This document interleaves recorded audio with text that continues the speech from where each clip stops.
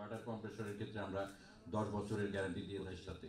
তো ধন্যবাদ জানাচ্ছি ও মঞ্চ বধিষ্ঠ আমার ঘটি বাটি এরকম এয়ার কন্ডিশনটা ঠিক ওই রকম ছয় মাসের পরিবর্তে আমাদের তো এই পর্যায়ে আমি মাঠ পর্যায়ে অ্যাকচুয়ালি কাজ করেন এবং আমাদের প্রোডাক্টের যে অ্যাকচুয়ালি বিক্রি হয়েছে গ্রাম অঞ্চলে বেশি।